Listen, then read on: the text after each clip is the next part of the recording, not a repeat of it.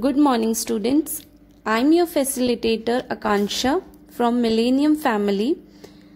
Let's do an activity. Close your eyes and imagine that you are blowing bubbles of happiness into the room. As you blow out the bubbles, imagine you are filled with happiness and the whole room is filling up with happiness. Now open your eyes. Now how you are feeling students? Feeling happy? Great. Now let's do exercise G.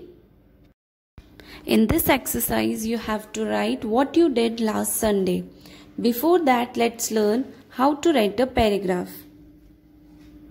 Now students, before writing the paragraph, first we have to note down all the points that come to your mind when you talk about that topic. So as you as on your screen you can see the topic I have written in the center what I did last Sunday.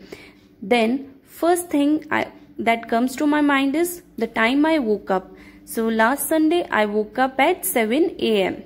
Then second I what I ate in breakfast. Suppose I ate aloo puri in the breakfast. So I'll write I ate aloo puri in my breakfast. Then what games I played, how I spent my time with my parents, then what I watched on TV, then what did I study, then what I ate in dinner, then time I went to sleep. So students, by keeping these points in your mind, you have to write on your own the paragraph what I did last Sunday okay? Now students in your IP you have to complete exercise F and H given on page number 57 and 59